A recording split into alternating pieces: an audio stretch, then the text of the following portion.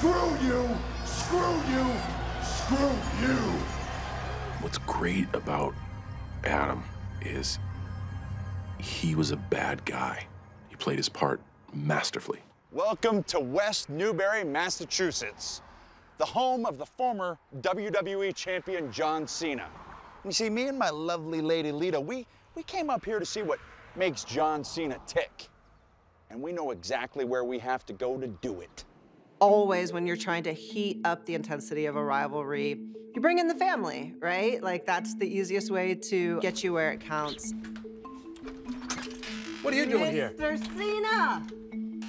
John Cena's father. Right. I was contacted by WWE uh, to say that they were going to be coming through West Newbury. They knock at the door. They introduce themselves, and I said, "Okay, what are we going to do now?" Get out of my house! Both of you now! I don't remember inviting either one of you! I'm calling the police! Leave now!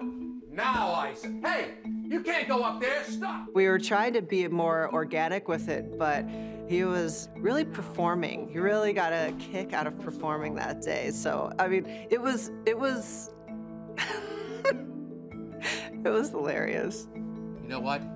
Did you have a nice visit? One, you had a real good visit? You had a good time, right? Two, take the lady, leave. One of the greatest moments of WWE TV ever. Love you, Dad, but uh, man, I learned a lot from you. What to do and what not to do.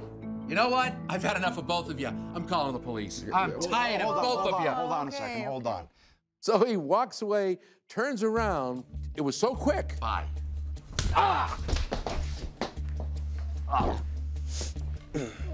It can only be about the championship for so long. You have to add in layers. So how do you add in those layers? Well, you, you go and slap somebody's dad. That's a layer. It's very fitting. One Cena goes down today, the other goes down in six days at SummerSlam. You see, I told John's dad that I was gonna beat him to within an inch of his life at SummerSlam.